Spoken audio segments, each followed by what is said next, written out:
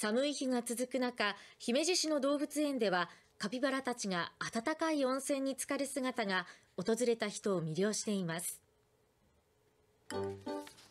冬に温泉が恋しくなるのは日本人だけではなく世界最大の月種類として知られるカピバラも同じようです。姫路市の姫路セントラルパークでは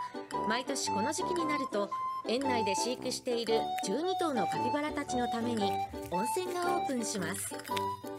南米のアマゾン川流域の温暖な水辺で暮らすカピバラたちは寒さが苦手。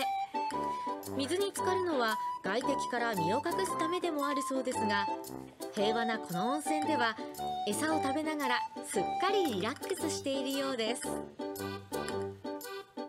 初めて見るんで子供がねあの緊張してると思いますけど喜んでると思います。僕も入りたいです。姫路セントラルパークでカピバラたちが温泉を楽しむ姿は来年3月中旬頃まで見られるということ。です